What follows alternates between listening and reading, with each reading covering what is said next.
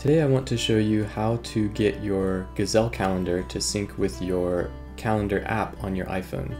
This will work on the iPhone or the iPad. To do this, what you need to do is load up the Gazelle website on your phone.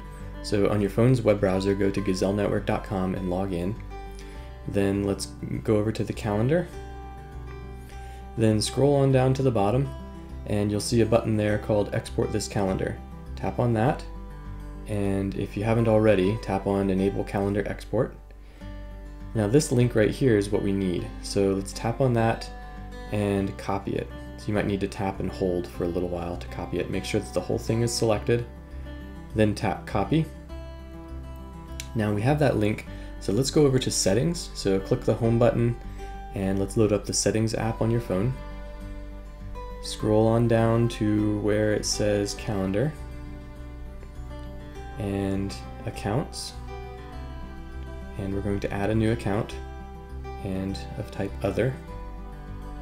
And this is going to be a subscribed calendar.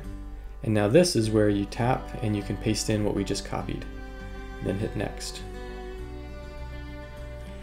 So after it verifies it it's going to pull in all this information um, and you can leave all of these blank or leave all of these with the defaults and hit save to view this, let's load up your calendar. So hit the home button, load up your calendar app on your phone, and then down at the bottom you'll see the calendars button.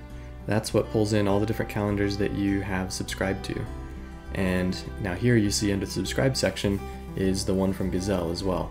You can uh, tap to unselect that if you want, or select it just like any of your other calendars.